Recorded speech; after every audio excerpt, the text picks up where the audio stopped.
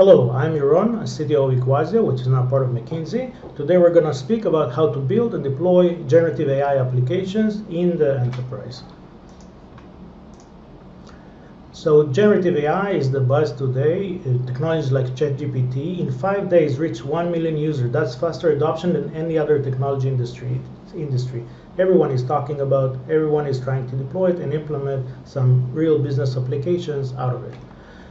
The challenge is that today it's very expensive to train your own model. Some companies invested tens of millions of dollars in building the model. You don't really want to train your own model. There's lots of risk associated with this technology. So intellectual property constraints, privacy issues, reliability issues, those bots don't generate the right response all the time, regulatory compliance risks, and so on and it's very complicated. There's a very complex stack around it, you know, GPUs and CPUs and new software frameworks and distributed computing and new ideas and how to process all that data and train and so on. So it's really hard to do that. So before you dive into those challenges, let's see how is the right way to do it right. So first, leverage pre-trained large language model. Don't invent your own. It's very expensive, very complicated, lots of data to train personalize it to your own need using your own proprietary data. So you want to train it on a specific application, bring specific data, and enhance the model with that data. Third, you need to address those risks that we talked about. How do you do that? You invest in data quality and preparing the data before the training. You invest in lots of testing to verify that the model is doing just what it's supposed to and nothing else and you put some guardrails so whenever it's answered the answer you have to verify that this answer is correct it's not risky it's not toxic and so on. And you need to add human feedback so someone actually examine what's going on and taking that feedback and feeding it and retuning your model. You want to build all of that is in a scalable automated and continuous development environment where you can keep on doing all those tests and redeployments and retuning and retraining in a very easy way without tons of labor and you want to keep your design flexible. Why? Because this technology is still relatively new. There are new technologies, new libraries, frameworks being introduced on a weekly basis. So what happens if you bet on the wrong horse? Keep things open so you can build new solutions and adopt to the market. so how do we do that? Essentially, there are two pipelines that we need to build. One is to build and tune the model. The other one is to use the model. So the first one is essentially taking data, your own data, potentially data collected from a feedback from humans and from machines, preparing it, cleaning it, making sure that it's going to generate the best result. It doesn't contain proprietary data and so on. Do this tuning of essentially taking the base foundation model, doing transfer learning, adding some layers into it that understand your specific data and generating the tuned model. Once you've done that, you have to do some evaluation to see that it's actually doing the right thing. You do a lot of testing to verify that it's not misbehaving. And finally, you need to automatically deploy that version into production using automated deployment. So that's the batch pipeline of building and deploying the model. What are we really deploying is an application. This is the second pipeline. The application essentially takes a request coming from an API, from a bot, and so on, contextualizing it with some state, the information potentially from the previous question, maybe vectors, maybe some documents you want to examine, and so on. Doing prompt engineering, which is essentially tuning the question to the model so it will behave exactly the way we want it to do, to behave. We feed it into the foundation model, which spits out the result. The result is not always the final product. We need to format it, we need to clean it, we need to verify that it doesn't contain toxic material, intellectual property, and other risks and violation.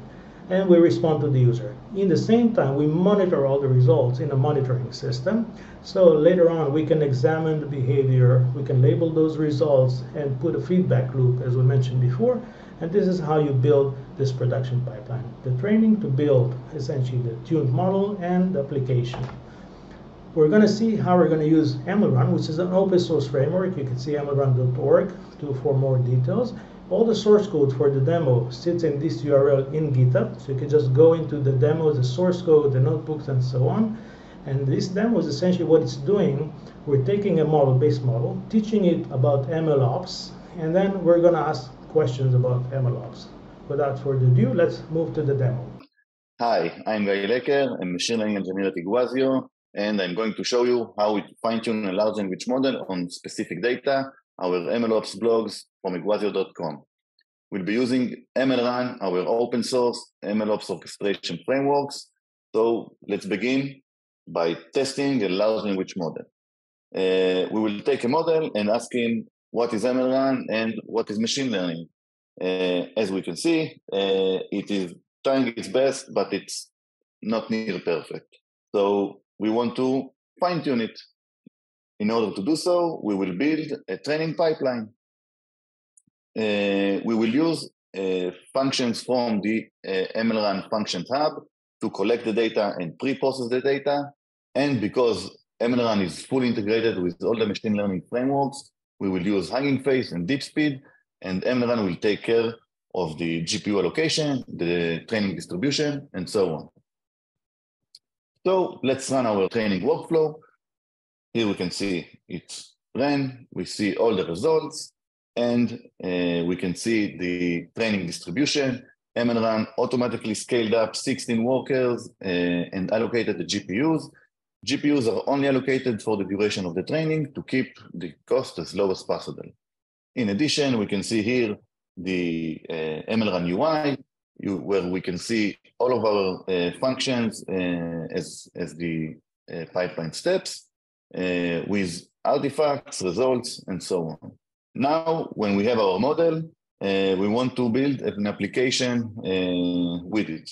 So we will use MLRun serving graph technology to build a fully automated and scalable serving graph with pre-processing, post-processing, and so on. Uh, with just few lines of code, we build the graph as shown above, and now we can test our model.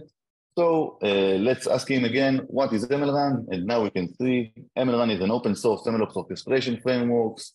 And what is machine learning? Machine learning is the process of applying machine learning algorithms to data to create new models. Not perfect, but a significant improvement. Now let's add the GUI uh, to our application using gradio.